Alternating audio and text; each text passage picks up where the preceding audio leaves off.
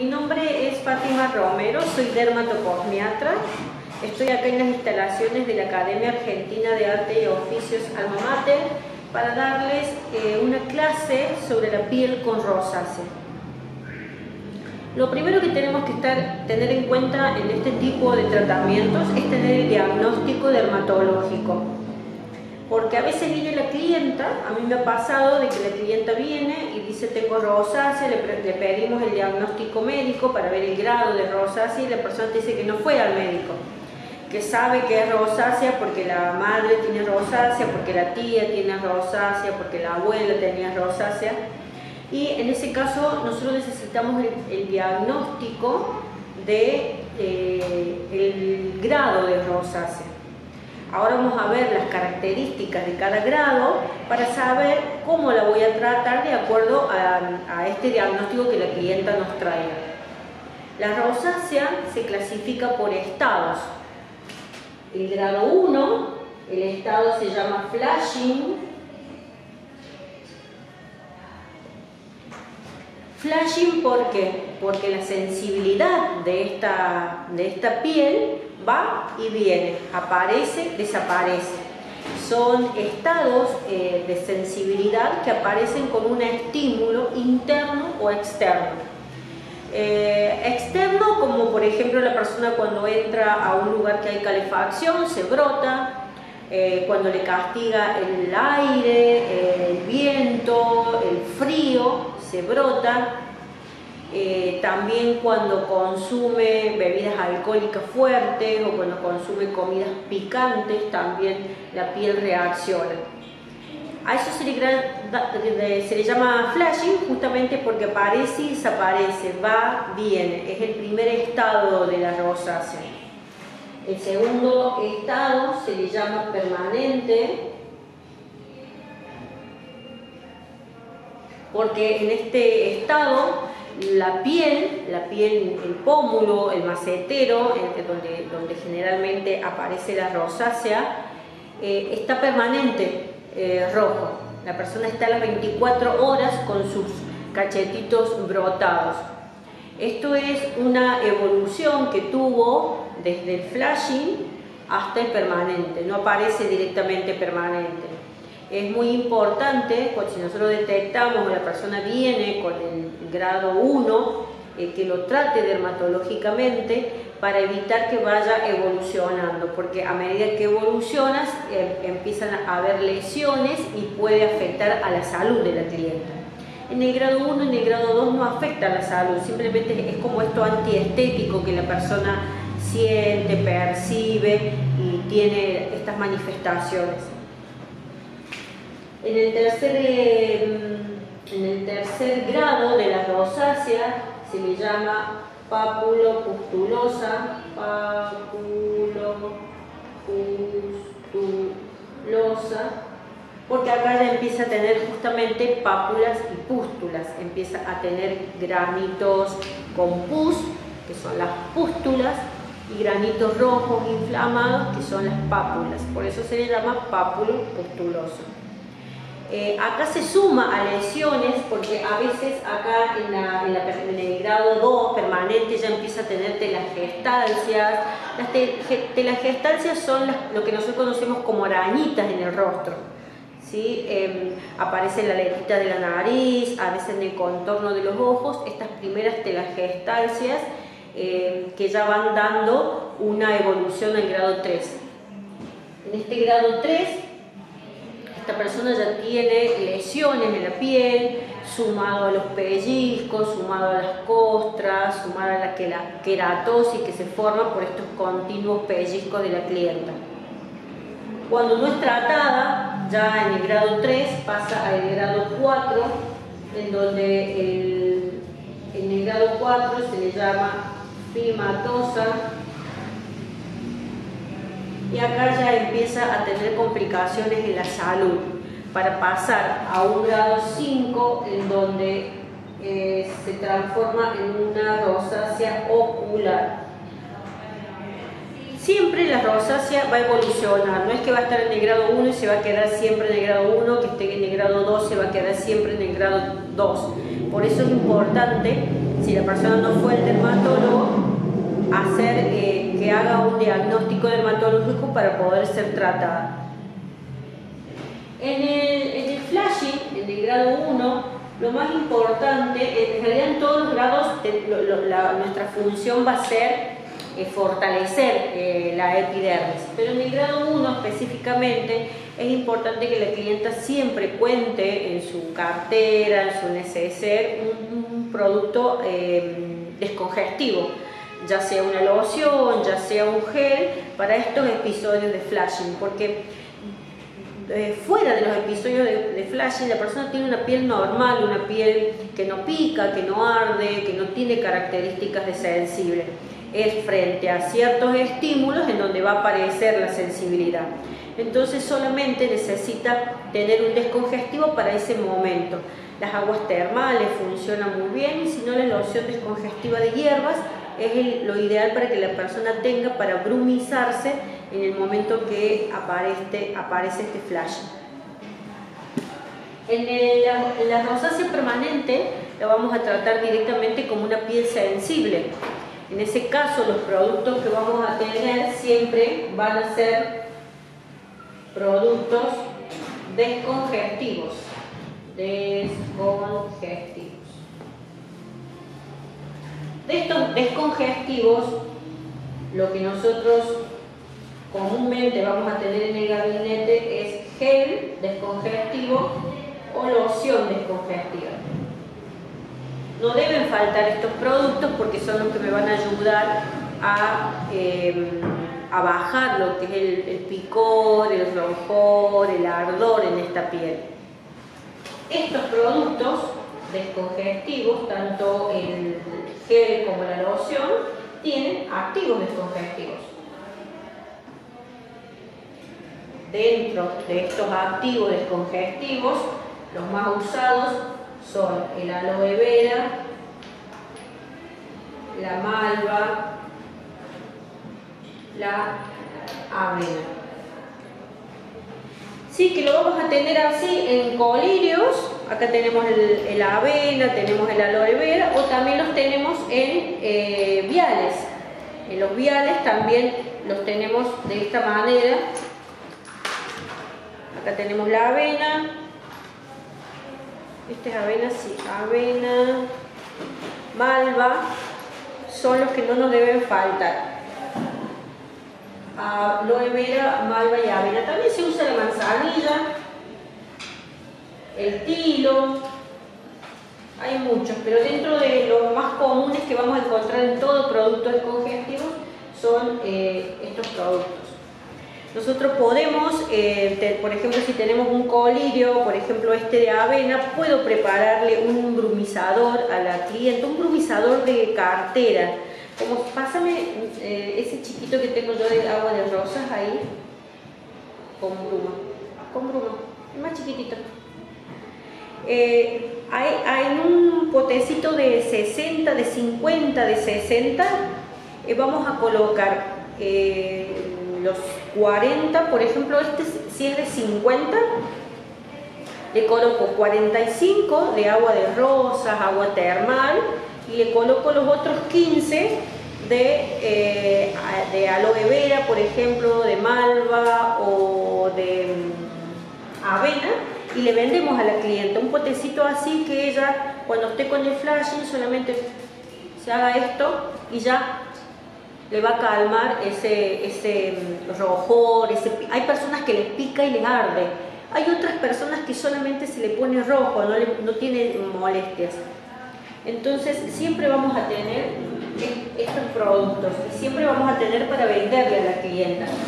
Le podemos vender la loción, le podemos vender un poquito de gel, también un potecito chico de 30 centímetros cúbicos, porque este flashing, como les digo, aparece solamente cuando hay estímulo entonces eh, es un poquito de gel solamente para que se ponga en, la zona eritematizada, que siempre es desde la comisura nasal hacia arriba, no invade y no invade el orbicular de los ojos tampoco el flashing. Eh, estos son los productos que nosotros nos van a ayudar a bajar rojor, picor y ardor. Rojor, picor y ardor. A la piel la vamos a tratar eh, dentro de la limpieza, vamos a hacer los, pasos de una limpieza simple, vamos a hacer el de maquillado de ojos y labios, el de maquillado del rostro y el mejor exfoliante para este tipo de pieles es el exfoliante enzimático, en donde no vamos a hacer abrasión, solamente vamos a pincelar la máscara enzimática, la vamos a dejar actuar entre 5 15 minutos y las retiramos con las esponjas húmedas. No hacemos abrasión como normalmente en otro tipo de piel. Es el mejor eh, foliante para este tipo de piel. Una vez que hacemos la exfoliación, el tónico ideal para este tipo de piel va a ser el tónico descongestivo. Se los voy a anotar acá para que, para que quede protocolo sería el desmaquillado, como siempre lo hacemos, desmaquillado, que lo hacemos ojos y labios y eh, el rostro. Hacemos la exfoliación, que vamos a hacer una exfoliación enzimática, es la ideal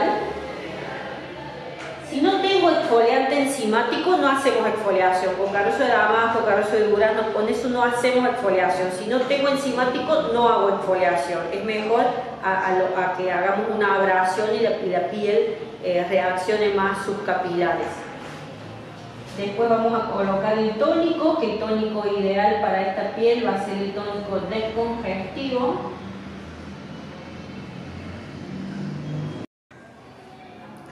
Como dijimos, el tónico ideal va a ser el descongestivo para este tipo de piel. Siguiendo con el protocolo, colocaríamos los activos. A los activos los vamos a seleccionar de acuerdo al grado que tengamos de, de rosácea. En el grado 1 dijimos contener aloe vera, malva, avena, manzanilla, que son descongestivos, es suficiente. Es más, a esto siempre le vamos a vender uno a la clienta para que tenga en el episodio de flash. En el caso de la permanente, vamos a hacer compresas con los activos. Preparamos en nuestro, en nuestro vasito de máscaras un cóctel de avena, malva, aloe vera, humedecemos gasas y los colocamos sobre la zona eritematizada. En el caso de la pustulosa, acá vamos a necesitar hacer extracciones y vamos a necesitar em, eh, cloruro de benzalconio, cloruro de benzalconio al 2%, no más del 2% porque si no el cloruro de benzalconio se va a convertir en irritativo a la piel, me va a empezar a picar siempre al 2% para colocarlo sobre la piel.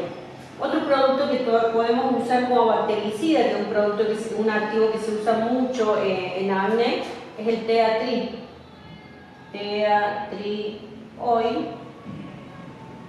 Y también funciona muy bien como tónico y como en el lugar de los activos lo que es el agua de aligur, agua de que si bien es un producto para que se lo usamos mucho en el acné como bactericida, el agua de ligur es ideal para embeber eh, las gasas, para envolver la máscara hidrofílica, porque justamente lo que hace es esta acción antibacteriana en este tipo de piel.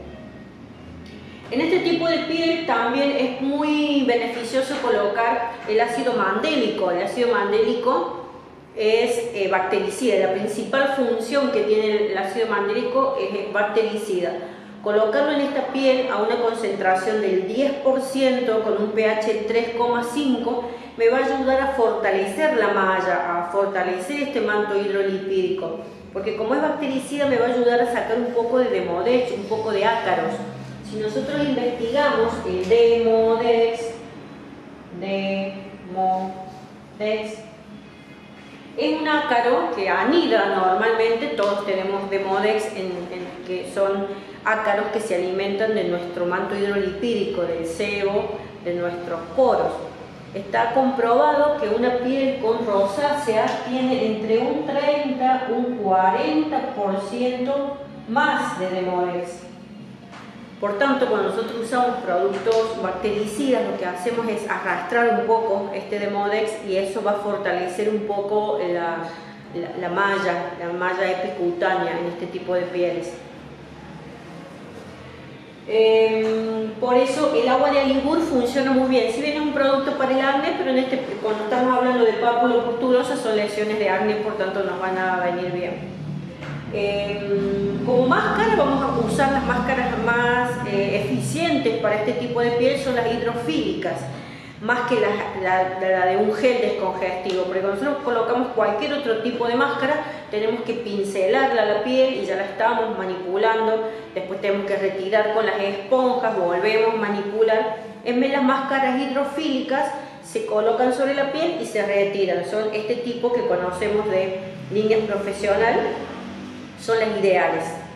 Embeberlas en agua de alibur, por ejemplo, me funcionaría muy bien, o hacer eh, en 100 centímetros cúbicos de agua, unas 10 gotas de cloruro de benzalcoño y humedecer la, gasa y nos va a permitir eh, hacer un perfecto trabajo descongestivo y antibacterial en este tipo de piel. Y para cerrar, siempre vamos a colocar productos que sean oil free, libres de aceite, libres de grasas, porque todo lo que sea grasa o aceite va a ocluir y va a volver a levantar temperatura esa piel. Entonces siempre vamos a buscar emulsiones, eh, oil free o vamos a colocar directamente un gel descongestivo como producto final. Este tipo de piel va a necesitar protección solar alta, pero siempre también emulsiones, eh, emulsiones para evitar también darle eh, oclusión a este tipo de piel. Eh, dentro del apoyo domiciliario le vamos a indicar también la descongestión, la hidratación, sobre todo, todo ir fortaleciendo la, malla epicutánea. Acá lo que más nos va a ayudar a eso va a ser el ácido mandélico. No tengan miedo de colocarle porque por ahí siempre decimos la piel sensible, la piel con rosácea, no se colocan ácidos. El ácido mandélico es el ideal, tiene una molécula Em, con tres átomos de carbono, por tanto esta, esta, es una molécula grande, no penetra en la piel, no pica, no arde y me cumple esta función antibacterial que necesitamos para este tipo de piel.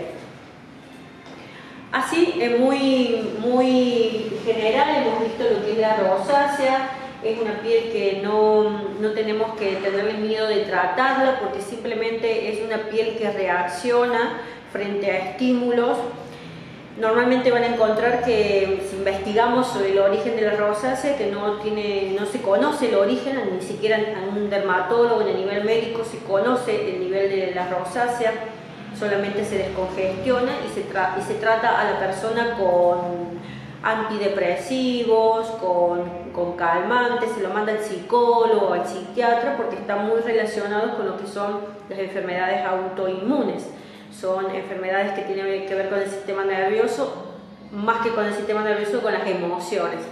Entonces, por ahí este tipo de personas eh, se las trata a veces solamente con el psicólogo, el psiquiatra y poco sobre, eh, sobre la piel.